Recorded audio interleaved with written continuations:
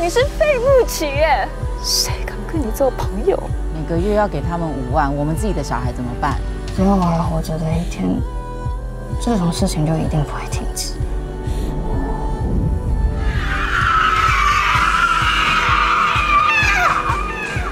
我知道我要成为带领大家的人，带领你们学着爱自己，学着爱人，学着发光，照亮自己的幸福道路。